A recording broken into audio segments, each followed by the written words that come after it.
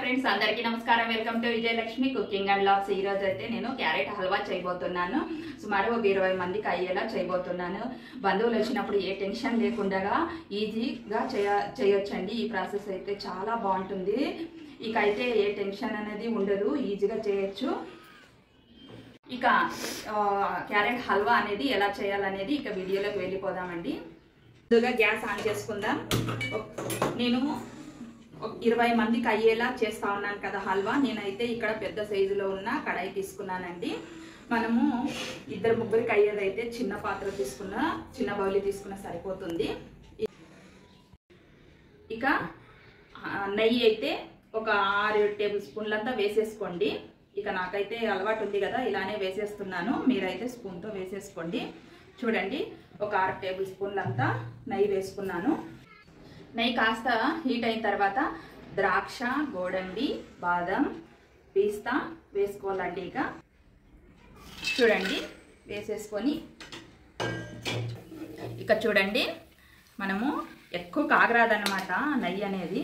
లైట్గా కాగాలి అప్పుడే వేసేసుకోవాలి. లేదంటే మాడిపోతాయి అన్నమాట గోడంబి ద్రాక్ష ఇవన్నీ. చూడండి కాస్త హీట్ అయిన తర్వాత వేసుకున్నాం కదా నెయ్యి. ఇక మనకైతే బాగా వేగుతూ ఉన్నాయి. ఇక పక్కకు తీసేసుకోవాలి.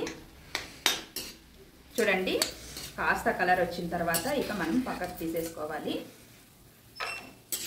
ఇలా ఓ ప్లేట్లో వేసేసుకుంటే వేసేసుకొని సైడ్ పెట్టేసుకోవాలి ఇది. తీసుకున్న డ్రై ఫ్రూట్స్ అంతా పక్కకు తీసి పెట్టుకున్నాం కదా. చూడండి ఇదే కడాయిలోనే ఇదే నెయ్యిలోనే మనము ఈ క్యారెట్ అనేది వేసేసుకొని బాగా వేయించుకోవాలి.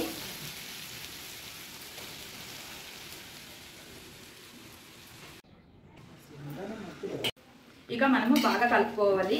క్యారెట్ అంతా వేసుకున్నాం కదా క్యారెట్ తురుము అంతా వేసుకున్నాం కదా ఇక బాగా ఇలా కలుపుకోవాలి. కాసేపు గ్యాస్ హైలోనే ఉంది. హైలోనే ఉండి వేయించుకోండి. కాస్త నీరు అంతా డౌన్ అయిన తర్వాత గ్యాస్ స్లిమ్లో పెట్టుకొని వేయించుకోవాలి.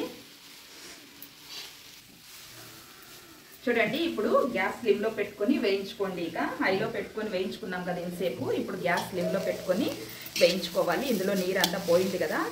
అందుకని మనం గ్యాస్ లిమ్లో పెట్టుకొని వేయించుకోవాలి. లేదంటే మాడిపోతాయి కింద. చూడండి గ్యాస్ లిమ్లో పెట్టుకొని మనము బాగా ఒక పది నిమిషాలు ఇలా వేయించుకున్నాం కదా.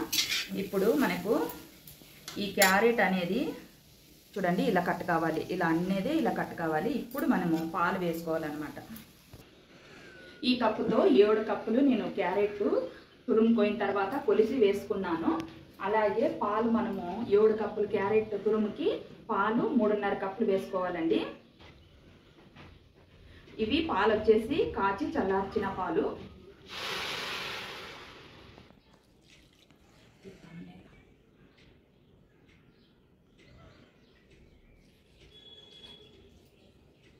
చూడండి రెండు కప్పులు వేసుకున్నాం కదా.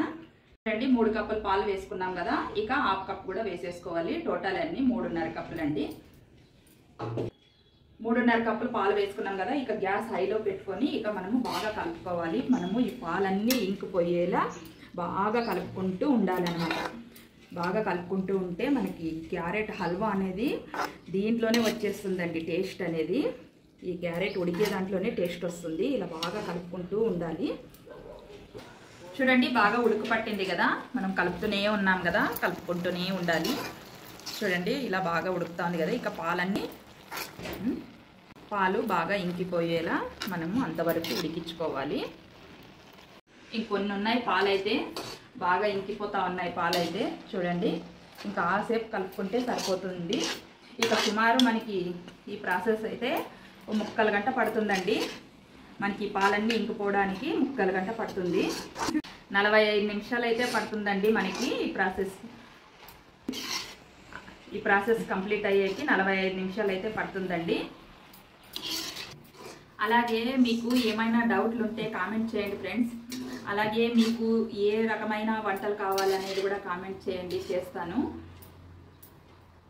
చూడండి ఇక మనకి పాలు అయితే బాగా ఇమిరిపోయాయి అనమాట చూడండి ఇలా అనుకుని ఒకసారి చూసుకోవాలి చెక్ చేసుకోవాలి. చూడండి పాలు ఎక్కడా రావడం లేదు కదా బాగా ఇంకిపోయాయి ఇక ఇప్పుడే మనము పంచదార వేసేసుకోవాలి. ఈ కప్పుతో ఏడు కప్పులు క్యారెట్ తురుము వేసుకున్నాము. అలాగే మూడున్నర కప్పులు పాలు వేసుకున్నాము. అలాగే మనము మూడున్నర కప్పులు ఈ కప్పుతోనే చక్కెర వేసుకుంటున్నాము. ఇక నేనైతే ఇక్కడ ముందుగానే కొంచెం పెట్టుకున్నానండి కప్పుతో. ఇక వేసేసుకోవాలి. గ్యాస్ నిమ్లో పెట్టుకోండి కాసేపు.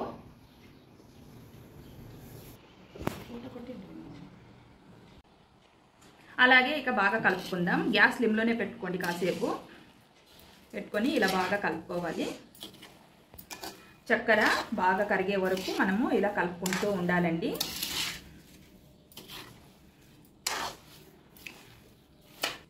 చూడండి నేనైతే టోటల్ నేను మూడున్నర కప్పులు చక్కెర వేసుకున్నాను కదా. ఒక్కొక్కరు స్వీట్ తక్కువ ఇష్టపడే వాళ్ళు ఉంటారు. వాళ్ళు తగ్గించి వేసుకోండి పర్వాలేదు. మూడు కప్పులు చక్కెర వేసుకున్నా సరిపోతుంది. ఇక స్వీట్ తక్కువ తినే వాళ్ళు అయితే రెండున్నర కప్పులు చక్కెర వేసుకున్నా సరిపోతుంది. మా ఇంట్లో కాస్త స్వీట్ ఎక్కువగానే తింటారండి. అందుకనే నేను మూడున్నర కప్పులు చక్కెర వేసాను. ఇక మనము బాగా కలుపుకుందామండి. ఈ పాకం అనేది బాగా మనకి ఇంకిపోవాలి కదా. అంతవరకు మనం బాగా కలుపుకోవాలి. మనము ఒక పది నిమిషాల పాటు గ్యాస్ ఐలోనే పెట్టుకొని కలుపుకోవాలండి. పాకం దగ్గరకు వచ్చిన తర్వాత మనం గ్యాస్ స్లిమ్లో పెట్టుకొని కలుపుకోవాలి. చూడండి ఇక మనకి క్యారెట్ హల్వా కాస్త దగ్గర పడింది కదా పాకం అయితే. ఇంకాస్త దగ్గర పడాలండి. ఇక మనము ఇప్పుడు దగ్గర పడింది కదా కాస్త ఇక గ్యాస్ అనేది స్లిమ్లో పెట్టుకొని కలుపుకుంటూ ఉండాలి.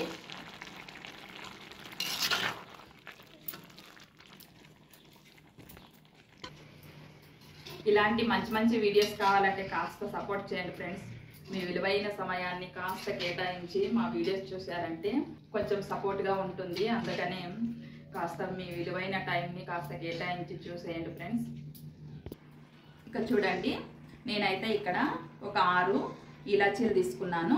ఇక పౌడర్ చేసుకొని ఇక వేసేసుకోవాలి. ఇక వేసుకొని బాగా కలుపుకోవాలి. ఇక మనకి కాసేపట్లో పాకం అంతా ఇమిరిపోతుంది. ఇక హల్వా అయితే రెడీ అయిపోతుంది. ఇక చూడండి మనకి పాకం అయితే బాగా దగ్గర పడింది కదా. ఇక మనకి హల్వా అయితే రెడీ అయిపోయింది. కాస్త చల్లారిన తర్వాత మరి కాస్త గట్టి పడుతుందనమాట ఇక మనము గ్యాస్ అయితే ఆఫ్ చేసుకోవాలి. ఇక మనము డ్రై ఫ్రూట్స్ అయితే వేసేసుకుందాం. డ్రై ఫ్రూట్స్ అయితే వేసేసుకుందాం.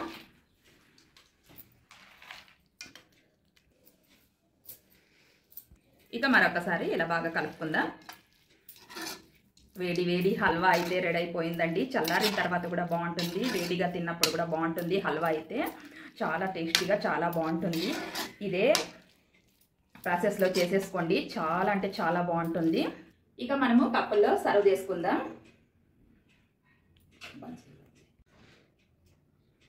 చూడండి కప్పుల్లో అయితే సర్వ్ చేసుకున్నాం కదా. ఇక ఆరు కప్పులకి వేసుకున్నా కూడా ఇక ఇది ఇంత ఉంది చూడండి. ఇక నేనైతే ఇక్కడ చాలా చాలా వేసాను అనమాట చాలా వేసాను. ఇంత కూడా తినరు కదండి. క్యారెట్ హల్వా అయితే రెడీ అయిపోయిందండి. ఇక టేస్ట్ ఎలా వచ్చిందనేది కాస్త తిని చెప్తానండి.